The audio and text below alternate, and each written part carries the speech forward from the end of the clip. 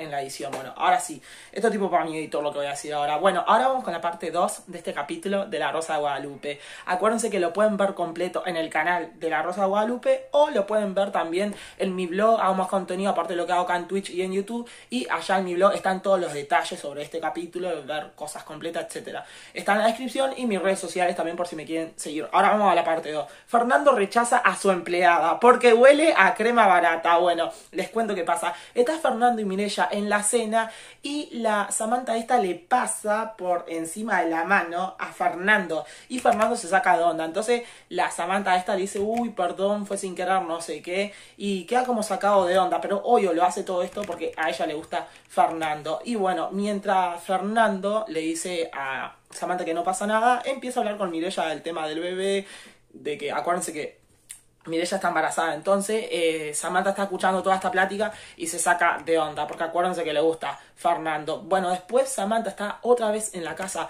con la madre y la madre le dice que se enfoque en lo que tiene que hacer. Bueno, después lo mismo de siempre, al otro día eh, Samantha está en la casa de Mirella trabajando, limpiando todo y llega eh, Fernando de trabajar. Y bueno, Fernando la trata bien y lo mismo de siempre, lo espera con la cena. Bueno, esta está haciendo esto para ganarse la confianza y después pasan varios días, ¿bien? Días después, lo mismo de siempre, Samantha está en la cochera y llega Fernando. Entonces cuando llega Fernando, acá, ¿qué hace? La Samantha esta le confiesa a Fernando que está enamorada de ella y le dice que ella es más joven que la mujer y le dice tócame, podemos ser amantes, no sé qué y obviamente eh, acá Fernando la rechaza porque Fernando ama a su mujer y no tiene intención de engañarla. Entonces la rechaza a Samantha y se saca de onda, le dice que no, que huele a crema barata y justo estaba Mirella y vio lo que Samantha estaba haciendo. Entonces como justo la agarró con las manos en las manos, Mirella llega, le da un cachetazo y la terminan despidiendo, ¿bien? Pero a ver, eh, obviamente si Mirella no hubiese llegado justo en este momento, anda a saber que estaría creyendo. Entonces, bueno, la cosa es que eh, la despiden a ella, ¿bien? Y ella le dice que eh, se las van a pagar, ¿bien? Entonces, bueno, como ella dice que se la van a pagar y todo, esta después, la Samantha, la echada, va a planificar su venganza, ¿bien? Y eso tipo, después más adelante le voy a contar qué es lo que va a hacer para vengarse de todo. Bueno, la echan, eh, Fernando y Mirella quedan en la casa y Mirella dice no puedo creer lo que estuvo haciendo, no sé qué, menos mal que justo estaba acá en el momento porque si no, este, no te hubiese creído y bueno, Fernando le dice que no se preocupe, que él no tiene intención de engañarla ni nada y Mirella le dice sí, no te preocupes que yo ya escuché todo.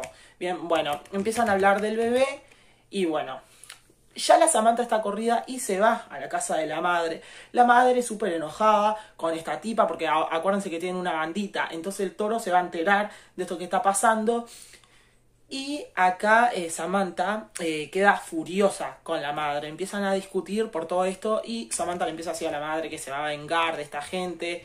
Y bueno, eh, la madre le dice que no le levante la voz, no sé qué. Samantha le dice que no se meta porque si no eh, va a ver de lo que es capaz, ¿bien? En fin, bueno. Samantha empieza a ir ya con otro look afuera de la casa de Mirella y Fernando. Cabe recalcar que esta Samantha, bien, está fichada ya. Ella se dedica, bien, a entrar a la, a la casa de personas ricos, bien, ¿por qué? Los demanda a los patrones, le saca buen dinero demandando, jefes, etcétera, con cosas inventadas, ¿bien? Entonces, ella ya ha hecho esto en varias casas, entonces ya la policía la tiene fichada. Entonces, ¿qué hace ella para no ser descubierta? Cambia de look. Bien, por eso ella ahora está afuera de la casa con otro look para que eh, la Mirella esta no la pueda como que distinguir que sea ella. Ella está fuera de la casa controlando todo, bien, está controlando cuando Mirella y Fernando salen y empieza a decir que se va a vengar de ella. Bien, bueno, después, mientras ella está ahí controlando todo, la madre y Samantha están tratando de buscar otras casas, otras víctimas para poder estafarlos, tipo sacarle dinero y todo eso.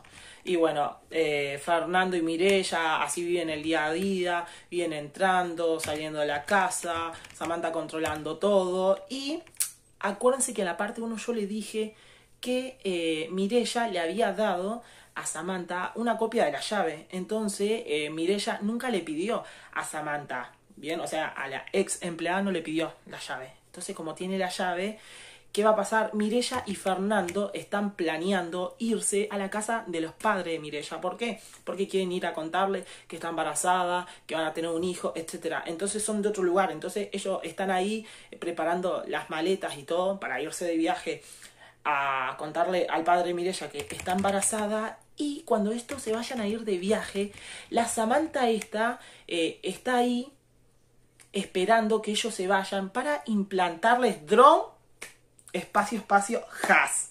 Lo voy a decir así porque no puedo decir la palabra por YouTube, ustedes me entienden. Entonces, ¿qué hace? Estos deciden irse de viaje. Entonces, cuando ellos se van de viaje, ella se, la Samantha está, está esperando, se pone guantes y tiene dentro de un paquete drone, drone has. Vamos a decirlo así para que no me vayan a detectar nada raro acá.